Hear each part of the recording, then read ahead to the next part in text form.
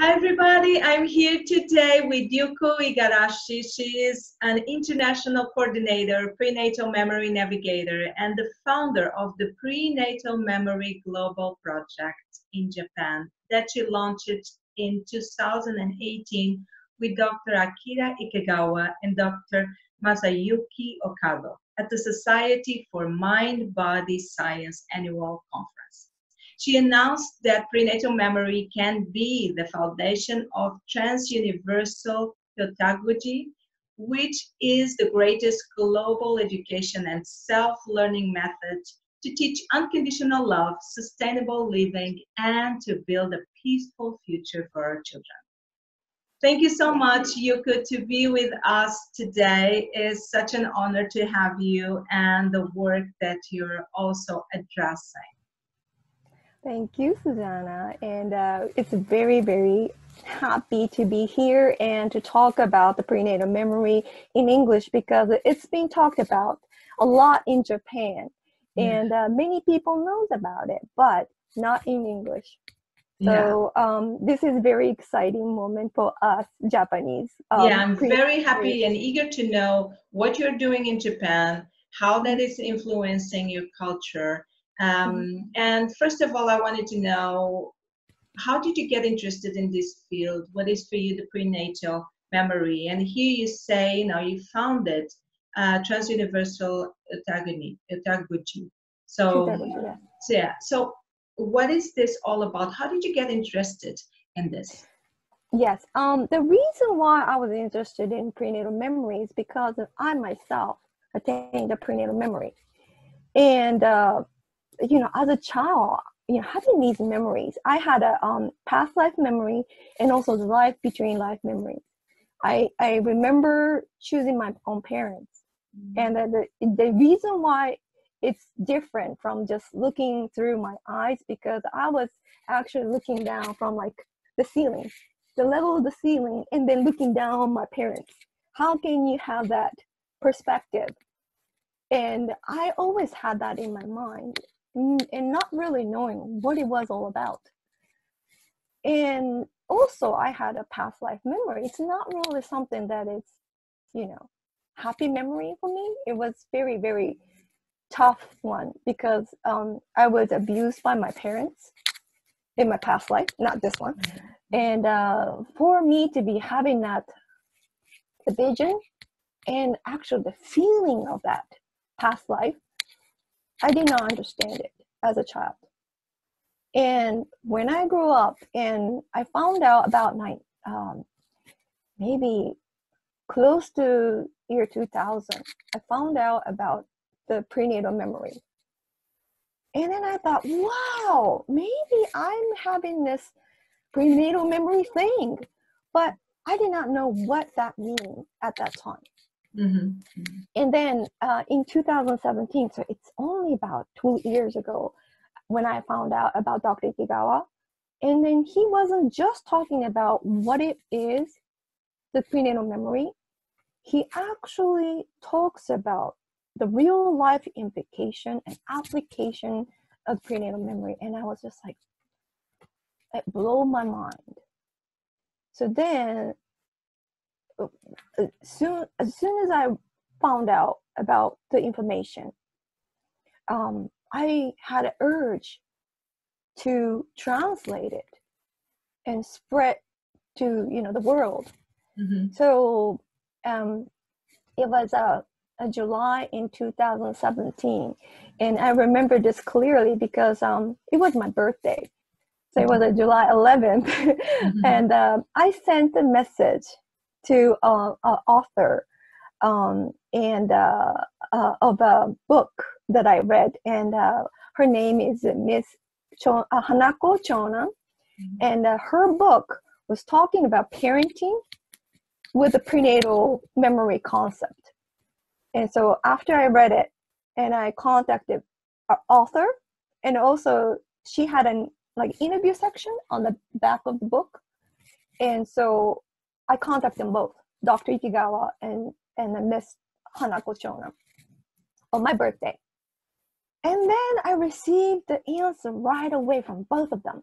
and say, "Oh, happy birthday!" And it was really a great feeling, you know. Like I didn't think I was gonna receive the message so quickly, and then I told them, you know, I I'm so eager to translate this work that you're doing. May I meet you both? And they were like, sure. And uh, uh, just at the end of the month, the July 28th or so, I met them both and talked about it and said, well, I would like to translate your work. Can I do that? And then the, the first answer that Dr. Ikegawa said was, oh, Miss Yuko Igarashi, do you have any contact with the publishers in the United States or any other country? And I was like, no, sir. I don't have any contact, but I think we'll find a way. Mm-hmm. And he was skeptical because, you know, who is this crazy girl doing? you know, what, what, what's, what's his, you know, intention? And then um, from there on, he actually asked me to translate his PowerPoint presentation mm-hmm. and help them out with a, um, the slide uh, translated from the uh, Japanese to English, and then he took it to the Europe, mm-hmm. and he actually went to um, uh, Finland and uh, Estonia with that presentation. Mm-hmm. And so he was giving the presentation in Japanese, and a translator, interpreter will be there to translate into their language, mm-hmm. but the presentation itself was English. Mm-hmm. Yeah. But with that presentation, I mean, it was his first English com- combination presentation, I think, and it received so well that he was like receiving about 30 minutes continuous questions from the audience and he mm-hmm. said he never had that before mm-hmm. because his voice was actually you know reached to the, the audience mm-hmm. and he was so excited and and then since then i was starting to like translate you know little by little and then uh, we launched uh, just like you uh, introduced me is that um, last uh, december i launched a um, prenatal memory global project and talked about this in japanese at the um, chubu university mm-hmm. and uh, my plan was to talk about this in overseas location mm-hmm. and i was submitting the um, our proposal to APPPAH. Mm-hmm. And of course, when I was giving a presentation, said, you know, I'm going to tell this to the world. I didn't even know if we'll be accepted. Mm-hmm. But then we received the, um, the the notification that we got accepted for a presentation, and so um, we just came back from Denver, Colorado, from uh, uh, this year's 2019 APPPAH International Congress and gave a presentation. We had a um, one full day workshop and a uh, two hours breakout session, and also two uh, uh, film screening. And it was received so well that um, Dr. Ikegawa was almost in tears so many times. Because mm-hmm. he said um, he's been going out overseas and talk about it and even going out to the congress uh, conferences and congress. But he was the only asian. And that this time was different because we had about 15 of us going mm-hmm. to the congress with him. So he felt so different this time and that you know we're giving a presentation in english. Of course it's not the perfect one because um, you know, to tell you the truth, that the um, 11 presented, no, maybe 12, because uh, we had a guest um, presenter. Um, they're all busy individuals, so successful. Like one of the uh, doctor, Dr. Ma from China, she's the most popular um, natural birth practice um, doctor in China mm-hmm. actually coming to join us to do this, you know, joint uh, presentation with us with Japan and China. So, you know, for us, it feel uh, it felt that we accomplished a lot. Mm-hmm. But about two years ago, it was only my dream, or mm-hmm. more like my, you know, um, mm, it was a dream. It was definitely a dream. It was a vision but yeah, it was just a vision. yeah, it was a vision and became reality. As you were as you were saying, Dr. Ikegawa, he he's a researcher on the field of mm-hmm. prenatal memory, and that mm-hmm. um, and that comes up with the with the next question that I wanted to make because a lot of people think, you know, yeah, but children, you know, they talk, they they imagine things. I am my my child told me about that, but you know, he saw a movie. Uh, how can we know for sure that this is not you know children's imagination there's there's a mm-hmm. whole research decades of research on this right mm-hmm. right exactly and the uh, distinction between just you know being a fantasy of, you know, told by children and the actual meaning of the prenatal memory once you start to know about how the prenatal memory is teaching us th- those um the life um, meaning uh, information that people start to think differently about prenatal memory. And that with that question like how ba- how can baby remember if they're inside a womb? You know how do they know you know if, if it's not just the imagination? The baby remembered all memory in the womb but the the memory itself is contained as a form of the light, he says. It's like a, you know, the memory of the elementary particle. It's not like something that is like embedded in the brain because, I mean, if you're like having a conception memory, there's no way about you having a, the brain, right? So he explains it like just like a writing the information on DVD or the CD, you know, it describes the information as a form of light, right? So he explains that um, the prenatal memory can be explained by the quantum physics. Mm-hmm. And the memory is the, the elementary particle. So it's a light, mm-hmm. the form of light. And then just like a um, recording it. Mm-hmm. And uh, so the, the those information, the memory is actually like not um, same as what we know, like our five senses. Mm-hmm. Their memory is more of like all in one, in a one.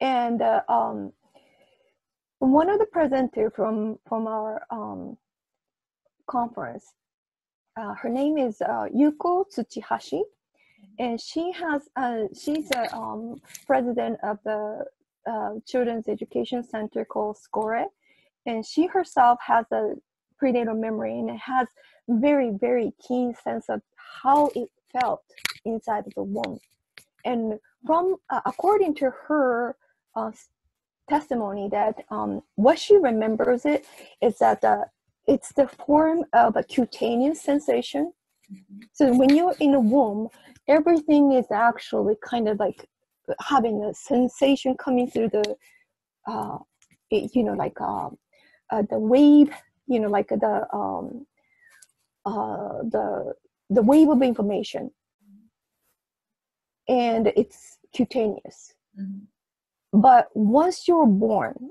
out of the womb, and then it start to like your your senses will be different from the eyesight to some you know the hearing to the the a tasting and it, it just kind of like uh, divided into all these senses five different senses mm-hmm. but baby in the womb cannot differentiate those information so um, dr ikegawa says that hearing all these um, stories from children you, you cannot just go and say well it's fantasy of the children because they're they're saying like scientifically correct information. So he just taking the, the children's story as it is mm-hmm. and believing it. And yeah, then and what, information you're saying that also information that can be confirmed. You you were talking with me um, uh, about you know when was the per, the first case of prenatal memory in Japan, mm-hmm. and that mm-hmm. makes me another question that we have was um, you know when do children start having these memories mm-hmm. because mm-hmm. um, there are some reports where it's you know it's two and three years old as they start to yes. express themselves well Uh, but sometimes you told me that the first uh, recording that you had was mm-hmm. with a boy with seven years old. Do you want to talk about that? When when did children start talking about this? Right. And uh, most of the cases that it's uh, very popular to hear those um, prenatal memory is starting around two to three years old. Mm-hmm. But when they're talking about those memories, uh, they may not be able to verbally express what they experience mm-hmm. because uh, and some kids uh, some children may not be able to um, express what they felt because they're just not having enough vocabulary mm-hmm. but um, so in that case most of the time the children will show well how does how was it inside of the womb? And and then they might just like curl up and say well i was like this without saying anything. So you know the form is different but once they're like getting older they develop that uh, the way of seeing or, or remembering the same situation with their you know developed vocabulary that they will be able to speak more about it in the first case, when uh, Dr. Ikegawa um, found out about the prenatal memory was actually more like a coincidental.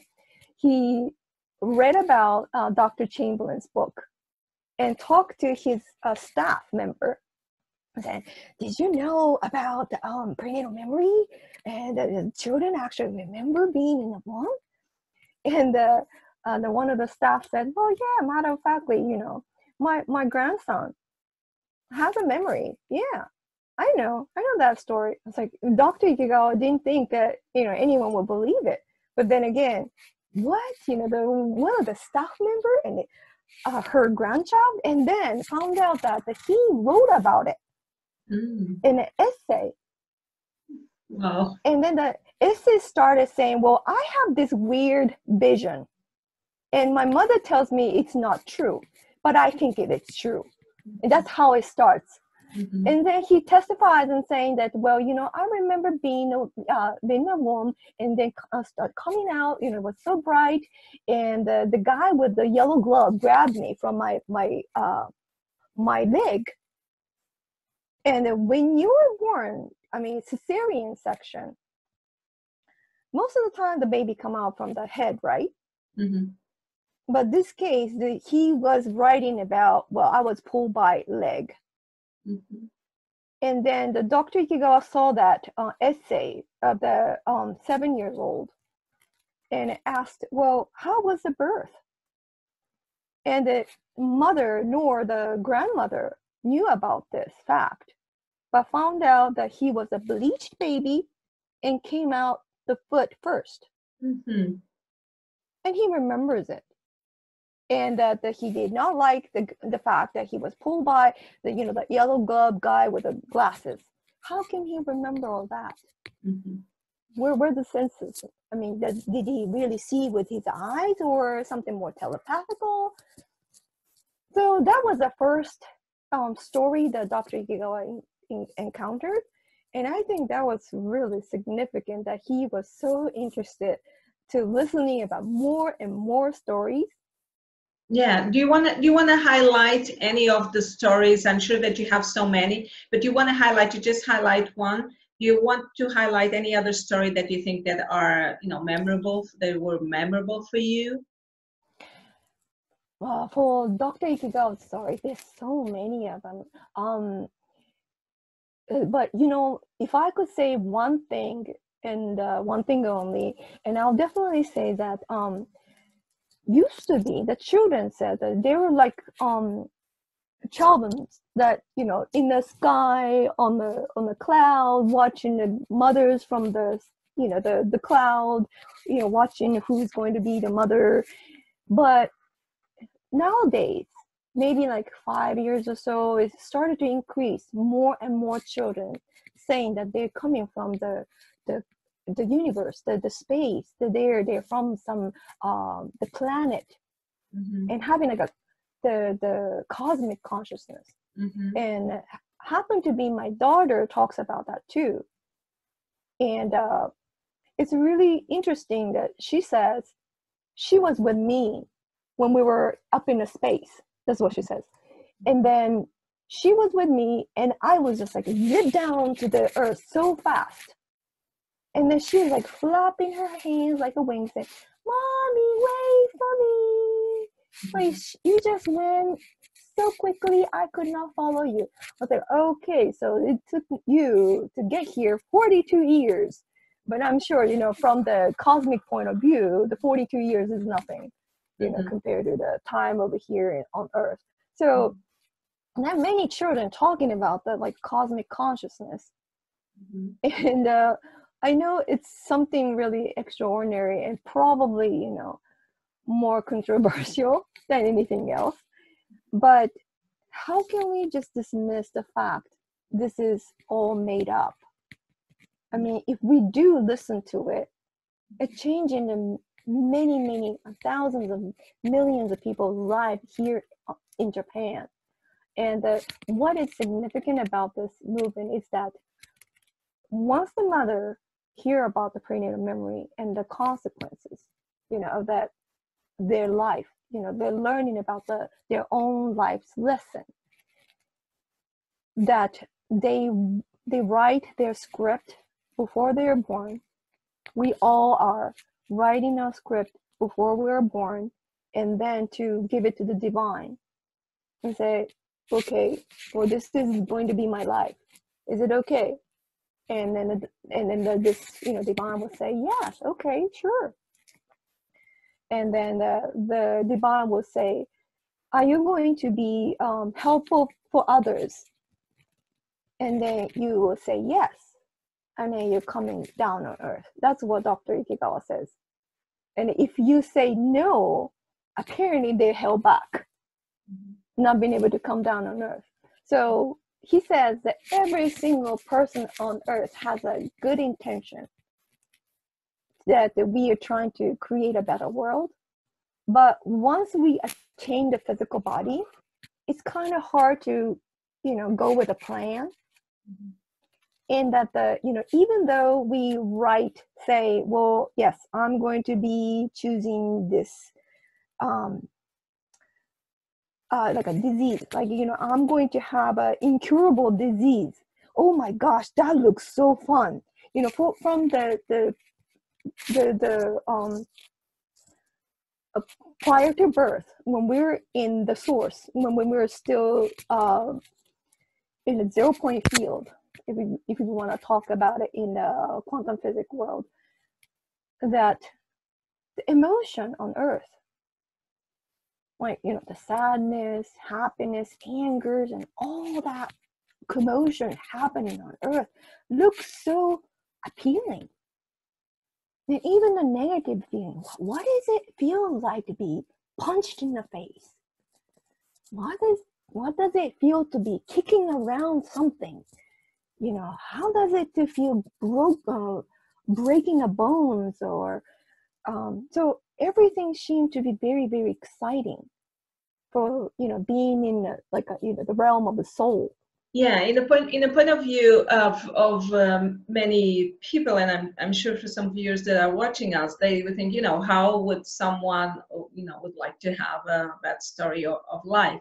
But if you think about this in terms of you know coming into university and having high expectations about what you're going to achieve and then on the mm-hmm. long run because you probably will have four years of study or you have six years you know in the new universal uh, center sets um, you know you never know what it's going to happen you know suddenly you start a subject and then you think oh but this is more interesting than that mm-hmm. or you thought that this was going to be you know the right way and then it turned to be you know awful and you had a horrible experience when you were in, in, in university and some people come out of it you know stronger and some people start to think well i think i need to do my degree again because it just didn't work for me this time mm-hmm. so right. uh, it is it is good to have the analogy of you know we uh, what what happens what i may say in the that's my perception that what happens in the cosmic uh, mm-hmm. world as we, as we can say or or you know the expectations that we have or the sensations that we have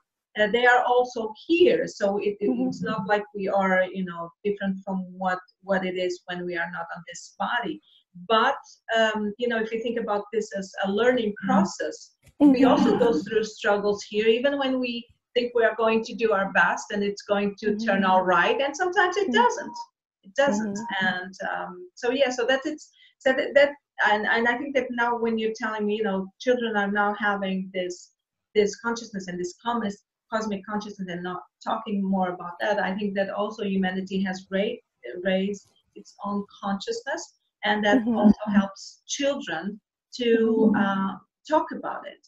Uh, because right. these are children that are talking about it with you know spiritual parents no spiritual parents at all and they're still having the same experience and talking about the same things.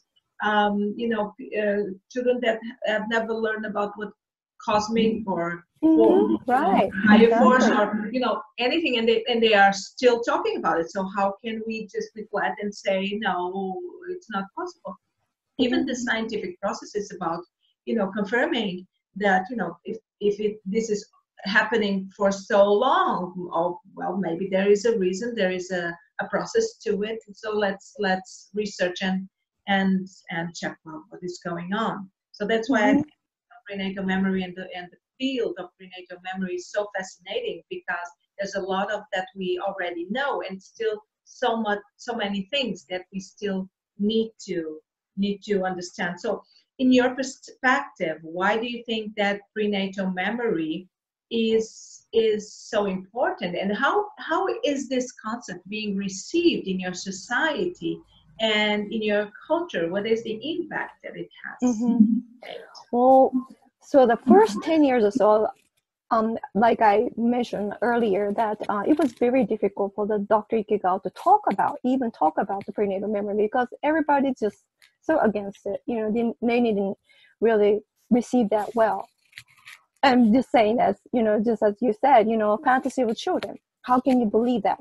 But what has happened from then was that when the mothers hear those stories and the meaning of their life, and what, what I mean by it is that Dr. Ikegawa has been seeing the uh, patients because he's an OBGYN doctor And he recently stopped about two years ago a practice of um, delivering uh, the birth process, but he's still taking outpatients nowadays. So he's still seeing the patients. So he has a time with the mother or the small children or the you know the baby in the womb in uh, 40 years or so, and then he encounters so many you know lives and also the death of the children. And that um, what happened was that say when um, when someone wants to have abortion and dr ikegawa says well i will do an abortion do the surgery for you but you have to talk to your baby first.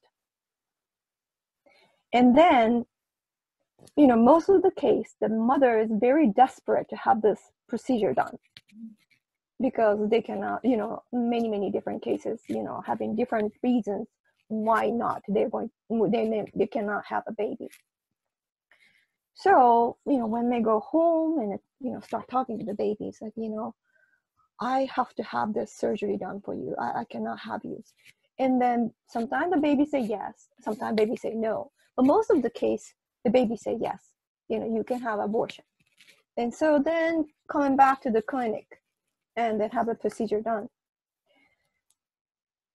Uh, he says that's the only condition that he will have an abortion surgery.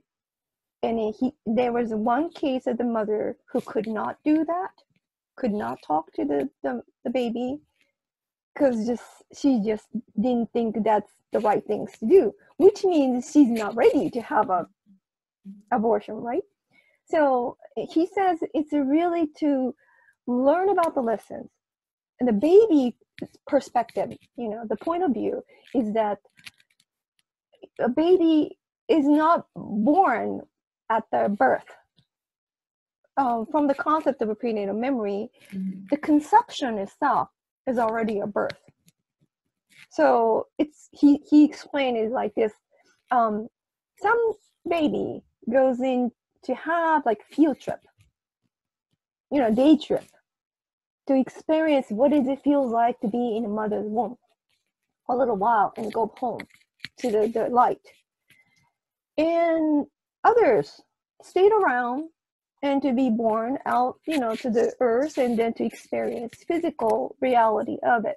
But just being in a womb, say, even for the, you know, few hours or or two weeks in a womb, is enough experience for the baby to take back, take back to this uh, source, as they're overwriting the information. This is what he says. Uh, we're here on earth to overwrite our information on our soul because we're trying to uh, become a better person, become a better soul. But in order to do so, is for us to experience all the emotions on earth to become a better person and then to feel that happiness. And so that once you know about those uh, information, uh, he encountered many stillbirth you know it's very difficult for the mother. And most of the time the the mother feels that it's something that they've done caused the miscarriage or or stillbirth. But from the baby's perspective and knowing the baby's perspective um, he he works with the, the lady who can communicate with the baby in the womb. Mm-hmm. it's like a baby whisperer mm-hmm and then receiving the information and so that the mother feels more comfortable about you know their situation. And he's been doing this practice for years. And you know the message from the baby it's just was just pure love for for their mother. And and it definitely gives the mother to learn about you know how precious the life is all about. And those mothers who are receiving this information, they start to be the change maker. Mm-hmm. They're the one actually holding the events and showing the prenatal memory of children, the, the film, or to have a lecture done by Dr. Ikegawa because they themselves received so much that they wanted to give out to other people and and I think some some some people even have you know the the children with the disability, physical disability, or maybe having a learning disability. And those mothers, I'm sure they're having a handful, you know, the life of their own, but they are actually going out to the society and saying, "Well, look, listen about the prenatal memory because it's changing my life. It's really comforted me. Now I want you to know about it. And I feel that it's like a social movement mm-hmm. more than anything else. And mm-hmm. I, right after I announced the, um, the prenatal memory global project in English, I'm receiving the, the messages from the, you know, many different countries about I think I've, I have about 11 different countries now. Mm. and ask me about this and then you know well what you're doing is so wonderful. This is you know this is something the world needs to know. It's like i don't really need to explain much.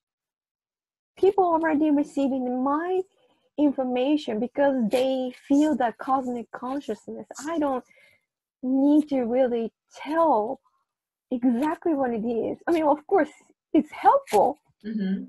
but the mm-hmm. source of information is mm-hmm. i feel that we are sharing the same feeling the, the feeling the, the cosmic consciousness and unconditional love yeah I, I see i see that uh, also that more and more uh, women are willing to understand that and in some ways mm-hmm. um, it just um, hits them. It's a button that uh, got switched on.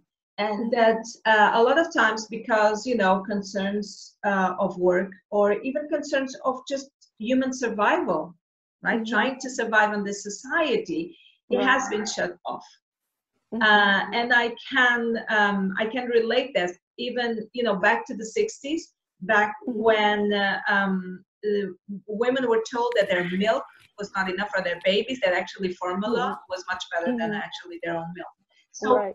Uh, so we had this um, this culture of you know what is from women it's not so good and we know what is best for the babies.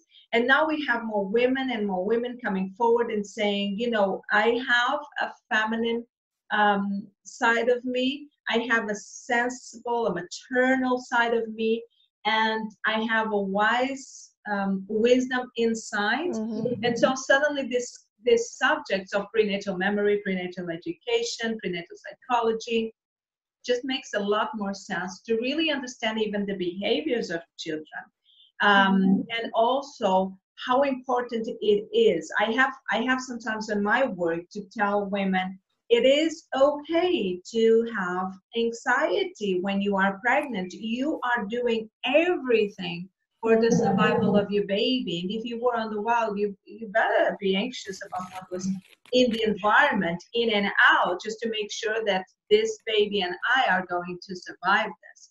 So um, uh, during pregnancy, even anxiety gets gets higher because of that, and they don't understand, and they think, you know, I'm just worrying about something that I shouldn't. No, you should. You should, and it is okay. So a lot of the emotions that we have as women are mm-hmm. okay to have. And, and even when you are pregnant you know there's another being inside of you that it's constantly communicating with you and mm-hmm. helping you through the process. So women should not feel that they are alone. So when we come now with prenatal memory and you're telling me you know they are the ones that are changing society. Yes they are the big ones that are changing society and they are inspiring the life that they have inside of them and their babies are perceiving that change is possible.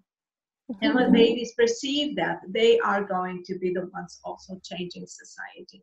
So I think that, uh, yeah, I also feel that um, the world is awakening up, and as there is, um, you know, now so much uh, on the news about ecological consciousness that has right. been around for decades, for decades, and now it's there in mainstream. I think that the field of you know cosmic consciousness, prenatal consciousness, uh, it's it's again going to be a field that it's going, needs to be there, needs to be on mainstream, so that women perceive that it is important.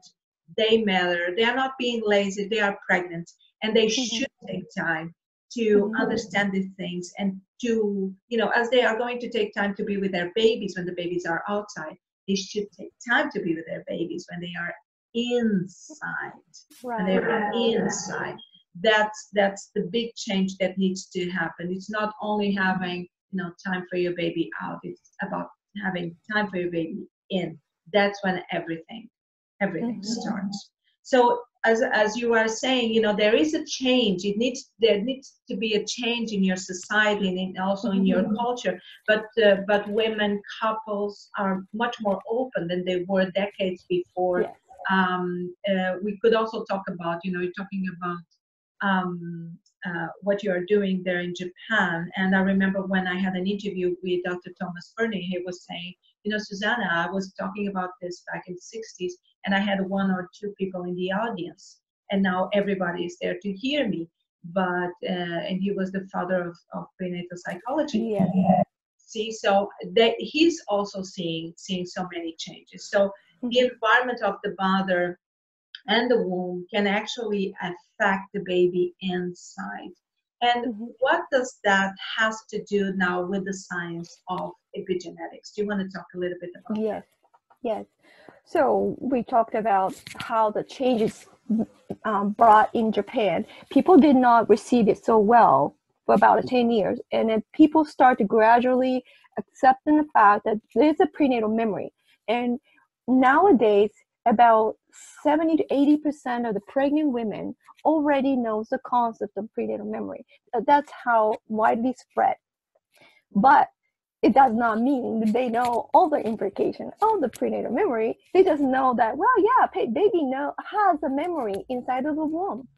But that's a start, I think.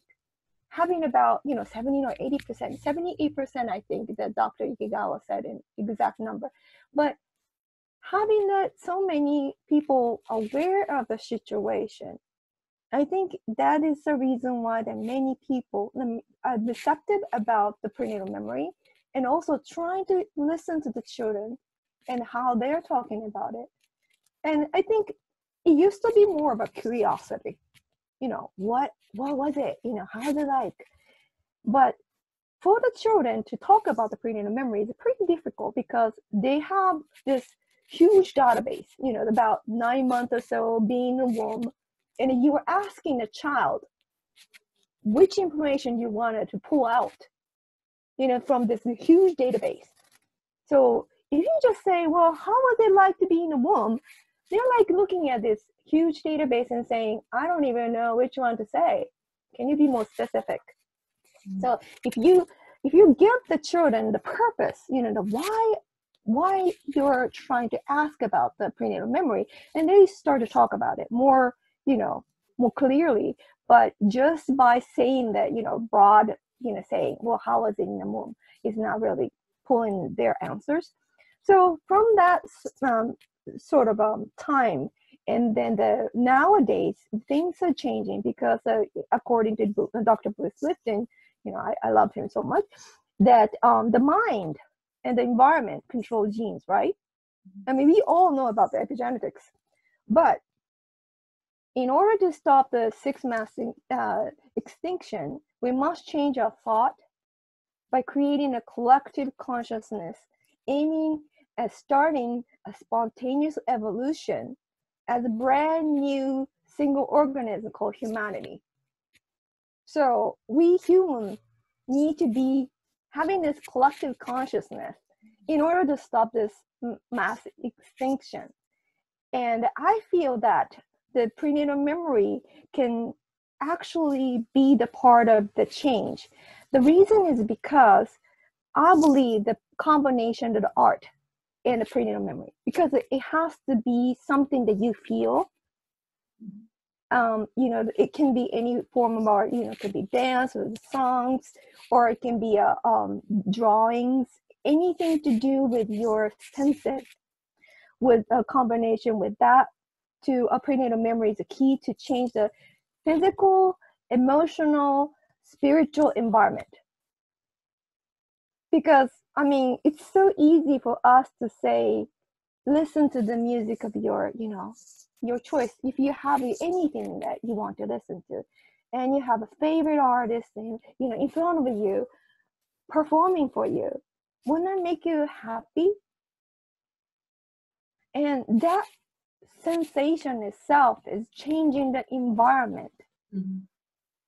so i feel that if we are changing our perception and that we're more tapped into the consciousness that we can actually create this change mm-hmm. because i feel the consciousness is the environment.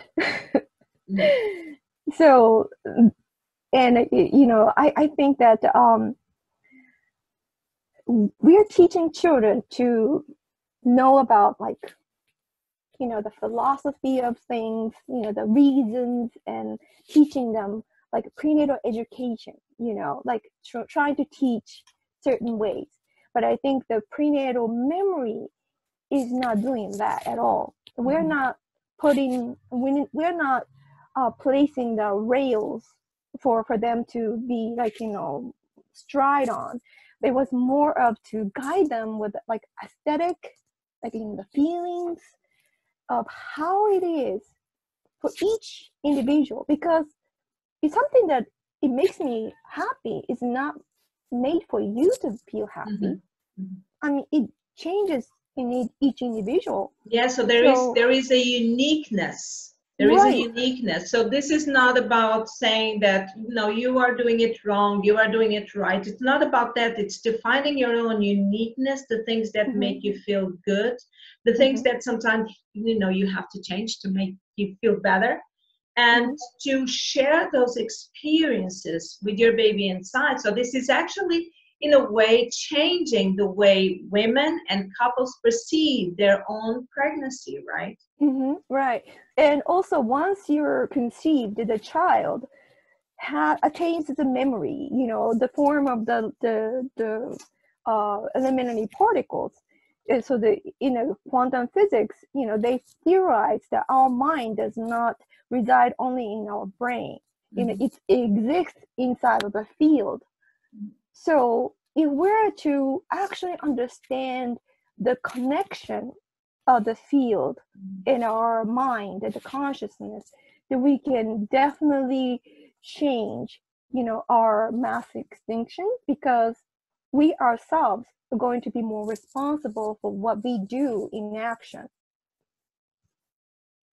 That's my explanation. yeah, definitely. Yeah, and and the, as you were saying, you know, perceiving that the mind is not just here; it's not just this body, you know, and our energy is, and we know this, you know, when we touch our hands, we can feel that it's hot or it's cold mm-hmm. uh, when they are closer together, but not actually needing to be touched uh, we know that there is energy around us and uh, and perceiving that you know our own consciousness is also on that energy. And uh, and that you can you know sometimes pick up oh i was thinking about you and you just call me right mm-hmm. so there there are things that we can pick up in the same way that when the baby is the womb that is also happening already so it's right, not right. only about you know the body sensations and this this uh, five senses sensation but also what what the consciousness can perceive um, mm-hmm. and and how what do you think that a, that a mother should be aware of when she is communicating with her baby inside in this important moment? Of her life well um, dr ikegawa and miss uh, yumiko tobitani created this program called the quantum birth. Mm-hmm. and it's really interesting because um, it is the class to teach the pregnant mother how to communicate with a baby. And it's the it's to um, gain a sense of like a telepathical ability and uh, so you know i'm sure all the mothers experience like you know when you're pregnant you just feel like you're going to want to eat something that is you know something that you would never eat or you know something that like uh, there are many cases in Japan. I um, Dr. Ikegawa hears that the um, baby wants to have McDonald's. Like the mother knows that it's not really good for the baby, but it's like you know you're craving so much that they go out to eat the McDonald's. For my case, um, I have a 25 year old son and a five year old daughter. And when I was pregnant with my 25 year old son, um, all I wanted to eat was a steak. And I don't usually eat meat. So, you know, but I was having so much craving and I'll eat and it just make me sick so that I have to, you know, I, I cannot, my, my body cannot take it, but my baby wants it. It's, that's how it felt like. And I'm sure there are many people feeling the way. And the Dr. Ikegawa says that's the type of communication the baby is trying to tap into the mother's, you know, the emotions and feelings. And that uh, once you're trying to develop that communications and to to have that like a when a baby started kicking around moving around that's when you can start communicate with the baby more you know easily because they will respond back with the you know the movement mm-hmm. so you know um I think there may be people talking about these like communication with the baby inside the womb, but it never had a correlation between the prenatal memory and that concept of the prenatal memory. Mm-hmm. So I know that Dr. Ikegawa hasn't done much of any like you know English writing that he could show to the world. So I'm hoping that in the coming year or so that I can uh, display more and more example of how it is and to to talk about different field of information because he has a lot i don't know where to tap into because i mm-hmm. feel like i want to have more like um questions so that i know how to answer it. Because mm-hmm, mm-hmm, there's so much. Are and, there any uh, it, is there anything you could that you would like to share with us in terms of slides or anything that you that oh. we're talking about that you would like to share with us more? Sure. Okay. So i'm going to talk a little bit about like scientific point of view of the prenatal memory. Um do you know about the overview effect, Susana? No, no, I, I've heard about it, but let's talk a little bit about that. That was Okay. great. Yes, yes, I'll, I'm going to explain about it. Um, on December 7th, 1972, the crew of the Apollo 17 called the Earth the blue marble and brought back this image, as you can see right here, the, uh, the, the, of the Earth, image of the Earth for the first time. And uh, this guy on the, the right hand corner, Here's a Frank White. And he says that the astronauts experience enlightenment and transformed their consciousness when they saw the beautiful Earth from the outer space. This cognitive shift in awareness is called the overview effect. And he suggested that those experiences of the astronauts are crucial message from the Earth to save humanity. And this is a quote that I like to um I like from uh, his uh, Mr. Frank White. We, we are on the space uh, spaceship Earth. We're the crew. We need to work well together as a crew of spaceship Earth. And maybe we're not doing you know good good job of that right now. But um so the the astronaut go out to the space and then they have this common feeling, common sensation, and there's the three of them uh, I'm listing here. It's experiencing all, and the self transcendence, and the perspective and identity. So, you, you know that the when the this the astronaut goes out out of the space and looking down on Earth, they feel this the common feeling that uh, they want to protect the earth. They need to do something about it because the the, the earth has a thin layer of the, the the air just covering but it seems like it's so fragile. And the, the frank white says that by knowing this n- knowledge the overview effect will be able to save the humanity.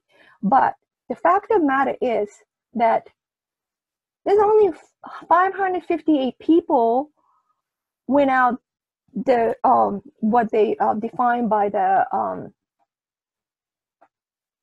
defined by the International Air Federation as of April 2017 only 558 people in 38 countries. I mean compared to the the population in the world it's just like really the slightest percentage of the people. And so how can we get this word around and uh, have the people understand this concept. So I felt that the cosmic consciousness and prenatal memory will be very helpful because when the astronauts looking at the Earth and having an overview effect, I felt that the with the knowledge of the prenatal memory, the concept of the prenatal memory, will be able to look down look inside of our consciousness to have this inner overview effect. Because mm-hmm. the astronauts are going out and physically experience this overview effect. But I feel that the consciousness, if we can, if we can consciously think about our existence, our soul, and the, the reason, purpose of being born on this earth, we can have the inner overview effect. And I don't know if you're aware of this. Um, there's five types of prenatal memory. Yeah, definitely. By... I had a, I had a chance, and I have here their book. I had the chance to interview uh, the mm. authors of the Babies Are Cosmic. It's it was wonderful. Uh, yes, Yes, and uh, um, so the, the Dr. Elizabeth and Neil mm-hmm. um, define as a there's a definition of five different uh, type of memories. Um, as of Dr. Ikegawa's explanation, he divided into the nine different categories. It's more uh, precise memories, but this is definitely a good to to um, give an explanation. And then, you know, is it fantasy created by children imagination?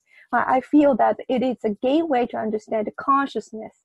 It is to capture children's pristine knowledge of multidimensional experiential aspect of their inner life soul. So once you're trying to, you know, having this um, inner overview effect happen to your your consciousness, I think we'll be able to shift from the children talking about the fantasy to the um, having a pristine knowledge of the, the cosmic consciousness. And uh, I think that's that's um, one section of it. And um, what I can show you, oh, uh, it, there's so many different way of um, expressing the prenatal memory. Like, um, I would like to um, show um, the comic book. There's a um, the professional comic book artist. She actually listened to a daughter talking about the prenatal memory, and you know maybe you can look at it later. I'll, mm-hmm. I'll show you the the link and everything. But uh, she started sharing this um, her um, comic on the Instagram, and uh, some of them are translated, but not all of it. But like she started to capture the the story of her daughter and sharing it. But um, anyway, that I want to show you the second one. And the red circle indicates that's when she started to talk about the first stories of the prenatal memory and then that happened when they were in the bed you know just you know like a, just spontaneously asking so how does it feel like you know how does it feel to be inside of the womb? And then she explained well it was dark and you know i was i was like a, um, floating around and things like that. And i think the art bringing this to fact i think it's easier for people to get an acquaintance with. Yes. Yeah and uh, and then uh, you know this is uh, her instagram um uh address and like uh, maybe i can show some of the um what i showed at the congress uh, mr saito he uh, his daughter's story has been captured in many different books and mm-hmm. then one of them is a baby's a cosmic Mm-hmm. And uh, his daughter is very, very unusual, you know, from the, the you know, the, the, the uh, development of the baby, I think. It is she, um, Ayaka, uh, no, eh, Ayako started to talk uh, around one month of old. I think that's pretty unusual, right? Mm-hmm. And saying the word okachan, which means mommy, at one month old, and uh, so she started to like talk about things and like um, thank you when she was like four month old and she started to talk to this like invisible being around seven month mm-hmm. and she um, used a zener card and like drew a script on the wall mm-hmm. and when the father asked about the, what she drawn on the wall you know instead of scolding at her i mean they were living in an apartment you know they have to return to the condition where it has to be you know clean as it is right but a daughter drew um, this picture on the wall and instead of like you know scolding he said so what did you draw on the wall and then she started saying well this is a fetus and this is the ovum and this is a sperm like in the medical term in mm-hmm. japanese mm-hmm. of course Mm-hmm. But that was when Ayano was uh, one year and 11 months old. I think that's pretty amazing, fascinating. Yeah. And then, yeah, um, so, so, you know, drawing like this and uh, like she even drew this picture and saying the birth canal here, uterus here, um, sperms here, and it, uh, to, three years on, uh, three years and four month old. Mm-hmm and she's already grown up and uh, adult now but um she does not remember any of the stories mm-hmm. Mm-hmm. but uh, when i asked uh, mr saito about her story he uh, he told me about he had a conscious uh, conscious conception so the other couple they were like talking to the spirit prior to pregnancy and saying that you know uh, for the the the perfect match of the soul to come to the the, the couple mm-hmm. And so then went through the conception and all that. And uh, um, do, um, Ayano had, uh, Ayano's mother had, um, uh, uh, what, what is it called? Um, like a bleeding, pretty, pretty heavy bleeding during the pregnancy, mm-hmm. and found out that uh, it could be a twin, and lost one of the baby. Mm-hmm and uh, this Ayano remembers about the, the experiences during uh, being in a womb that happened the heavy breathing happened and she said that it was really like tightening on my neck and then all of a sudden it felt relief mm-hmm. and then uh and she was talking to the invisible being and i just had a feeling that maybe that that she's been talking to this invisible being, which is a twin sister. Mm-hmm, mm-hmm. She lost in the womb, and this uh, Ayano has been a perfect child and never been in a problem. Like you know, the father describes her as being the perfect child. Mm-hmm. But the one time when she was like 17 years old, had a breakdown, only once, and said that, "Daddy, do you feel like you're only person? And then he didn't know how to answer it but he said yes i feel i'm only one person. And she said i feel like i have another person inside of me. And mm-hmm. i feel that that was indication of the the um vanishing twin syndrome mm-hmm. but not in a severe way. It's just really the slightest case but i felt that maybe that she was grown up, brought up so perfectly because she was always guided by her twin sister. Mm-hmm, mm-hmm. And I thought that was very um, amazing.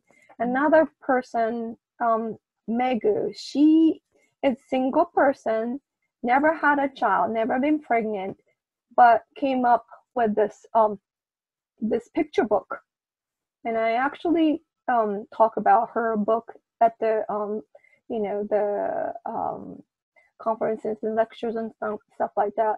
But she has this like cosmic cosmic vision of the child coming to you know choose choose a mother from the, the sky up in the sky. And uh, i loved her story so much that i translated into english and i'm hoping that it, it will be translated in many different languages because i think this touches everyone's heart. I mean, if they know about the prenatal memory.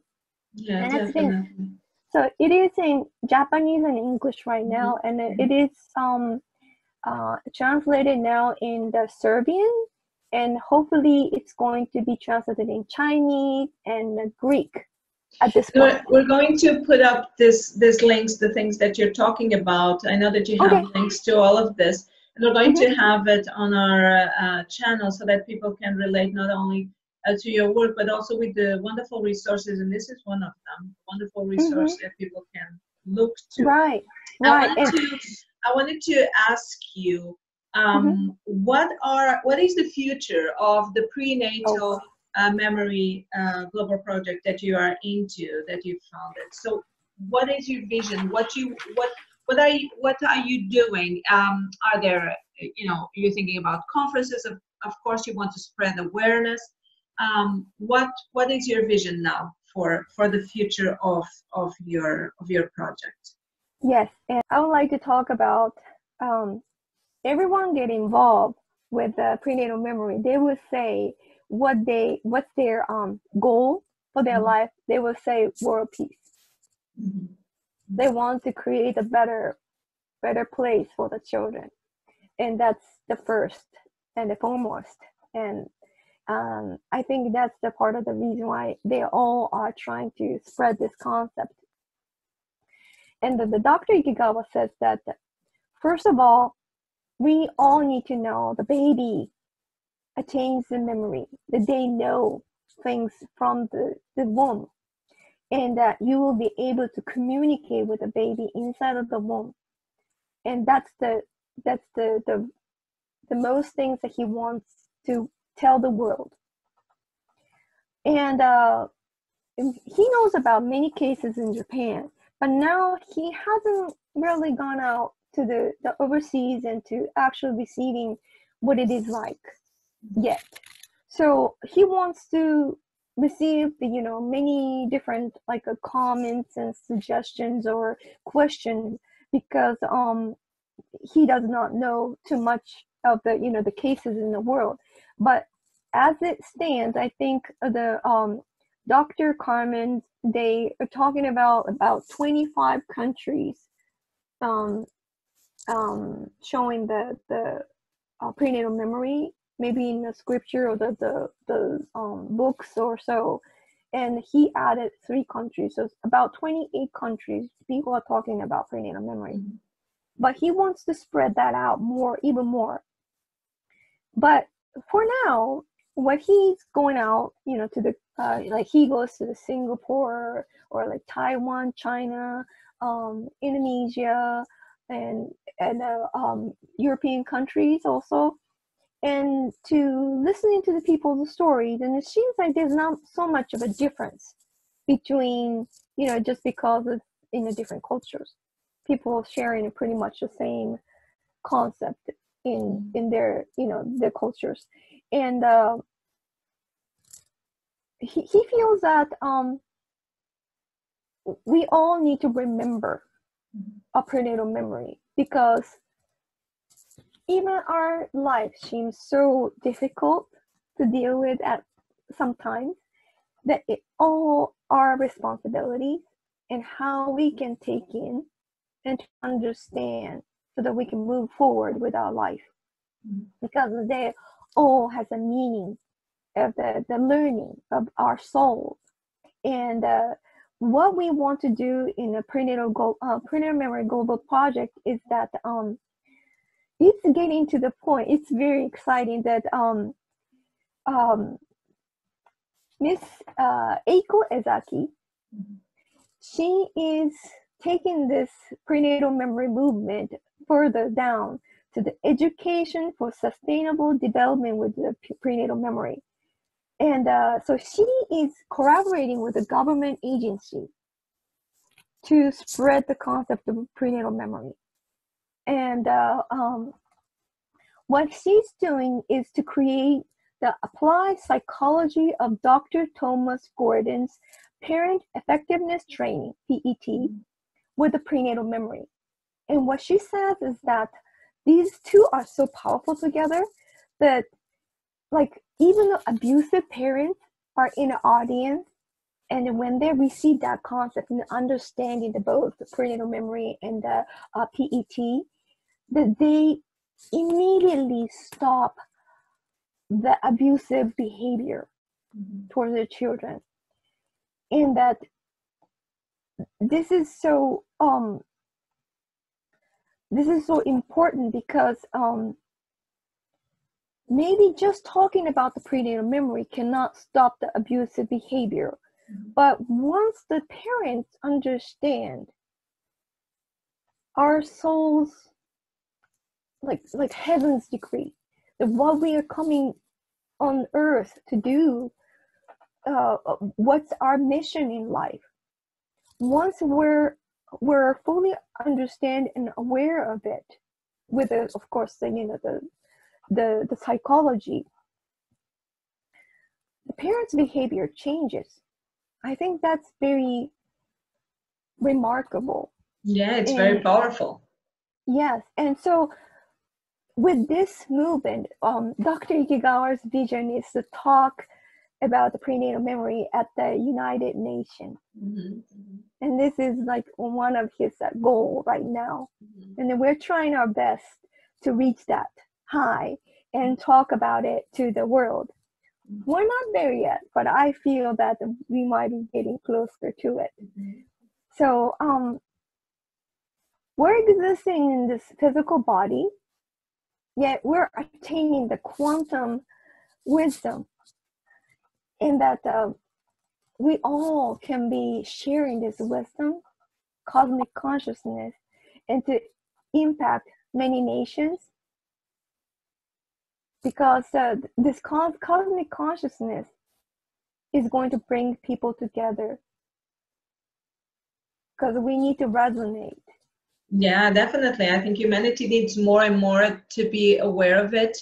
More and more mothers, it will help them on their on their um, work of building the new generations. So mm-hmm. the future of new generations. So I think all of these concepts that you've just talked about is again giving a wider vision of what is creating humanity, what is you know building up new generations, and how can we you know raise the consciousness of humanity in terms of you know the way that conception is perceived, pregnancy, and mm-hmm. the early stages of of the oh. education of children. Mm-hmm. As you mm-hmm. were talking. And it, and I forgot to mention about the trans universal heutagogy part. Can I go over to yeah, yeah, sure, part? Sure, sure. Okay. Uh, good. Uh, anyway, so the prenatal memory global project it's to advocate the family. It's key to unite humanity, acquiring cosmic consciousness, and shattering the boundaries of borders, races, languages, culture, and social human cognitive framework. Because I think it happens to every single human being on earth. I mean, even if you are not going through the birth process, you come out of mother's womb, right? Mm-hmm. Yeah, so, definitely. yeah, we we're we're all sharing those experiences. The Prenatal Memory Global Project is to learn prenatal memory, fertilization, birth, and parenting is the most profound and effective way to bring peace on earth. And I would like to talk about the Trans Universal And I'm sorry, this is not an animation, mm-hmm. but the pedagogy on the left side is actually to to uh, pedagogy is the art of science or profession of teaching. So the, the, the teacher will be giving an instruction and, and, and then to, to do the formal learning. At, uh, in the middle, andragogy is a self-directed learning and heutagogy is self-determined learning. So it, the two going going to the right, it, it takes more of the um, responsibility of the, the, the self-learning process and the pedagogy is like more of a given by someone else and then and the um, differences between these learning principles is simply for the heutagogy learners learners highest maturity and autonomy will be required and it, it requires less instructors control and course structures uh, course structuring is required because they can take their own learning and their own speed. And so I think the prenatal memory does that simply the fact that every single person's point of view is different. And so it's not a pedagogy, it, it cannot be taught by someone else. You have to learn on your own, on your life and life story. And in trans-universal heutagogy, I think the prenatal memory is the greatest global education method and the foundation of self-learning for creating a peaceful future for our children. I made up that word anyway. Mm-hmm, mm-hmm. But anyway, so that you know, it's the learning the prenatal memory can create a contribution for society as we are the consciousness reformer and prenatal memory experience can train us to strengthen awareness level of our consciousness. And also, prenatal memory itself is the greatest way to learn about life on earth. And uh, you, you asked me the epigenetics earlier. The turning biological switch with prenatal memory. I can show you the quick, quick one. Um, quick one. The mind and environment control the gene. So how do we change the environment? we need to change the, the our thoughts, the consciousness. And like I mentioned earlier, art and prenatal memory is the key to change our physical, emotional, and spiritual environment because that's when we feel mm-hmm. feel the, the differences. And uh, this um, world of sensitive centered philosophy, um, this uh, Mr. Shifu Yoshimura has been talking about the importance of the aesthetic and feeling, the spirituality part, needs to be as equal as to learn about the intelligence and, and reasons. And uh, um, this is the um, uh, Taka, Mr. Takashi Taneichi has this um, theory called parasite fermion theory, and that he talks about our soul exists as a fermion in the multidimensional field. And uh, um, this is really a um, quick look at it and saying that uh, we have we're we're having a connection between this realm of extra dimensional space with our physical body and like you see that um, right here the pfo the, the connection. When when we're attached to it we're alive. It's like you know the soul is remaining inside of the body. And uh, it does not matter of the development of the, the brain because it, you're just having a consciousness inside of this um, parasite fermion it's like you know outside of our uh, dimension and once this connection is gone it's that we experience the death and then once we're say coming back again to other body is the explanation of the re- reincarnation. So um you know that's the part of the reason why we we can talk about the the um prenatal memory in this way because uh, the memory is not inside of the brain. It's inside of the extra dimensional world. Mm-hmm. it's like a soul you know. And i think i think um here's my point though. Um oops. The future of genetics. Every human thought gets to be broadcast into the vastness. We need to be in resonance it's like a tuning fork. Yeah. If we are all resonating in the same vibration same frequency i think mm-hmm. we'll be able to change the the world you know more peaceful and harmonious. And this is my you know the last slide. Are you with us? So thank you so much i think we're we're finishing then with the with the slides and and with the interview also i think it was such a mm-hmm. wonderful talk to have and um, i will probably make it in two parts so that people can watch one and then the other because it was so extensive and so knowledge, knowledgeable about so many fields that you're working on um, i wish you all the success and we'll keep in touch Thank to you. you know to know what the activities each other are doing and we're going to put up you know the links so that everybody knows what uh, what you are doing and how the project is going. Yes thank, thank you, you so, much. much. it was wonderful time thank to have you. with you from the other part of the world. Yes! Thank you so much and i hope we'll see each other soon. Oh yes we sure will. Thank you. Thank you. Bye, bye.